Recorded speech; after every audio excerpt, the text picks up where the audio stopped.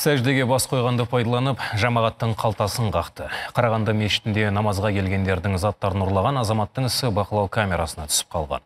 Орта жастағы ер азаматтың қимыл қозғалысы намаз оқып тұрған адамға әу бастан ұқсамайды. Жан жағына жалтақтап тұрған оған ешкімде мән бермепті.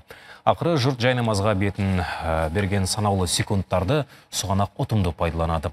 Айналасындағы екі сөмкені жылдам жымқырып, есікке қарай зыта жөнелген. Ал 23 жастағы студент жер сипап қалған намаздан кейін бірақ біліпті. Сөмкеде оның киім кешегі, ақшасы, құжаттар мен ұялы телефоны болған екен. Камераға бет әлпеті түсіп қалған ұрыны полиция 5 күннен бері таппай іздестіруде. алланың үйінде дейді мешітте дейді ондай ешкім ештеңе істемейді деп ойлаймыз ғой енді сол жерге қойып кетіп мен ойлаған жоқпыз олай болады деп мешіт қызметкерлері айтады ол азамат ә, неде туберкулез неде тіркеуде тұрған азамат дейді ә, анда санда келіп тұратын азамат екен мешітке милиция қызметкерлері бірақ танымаймыз деп жатыр енді.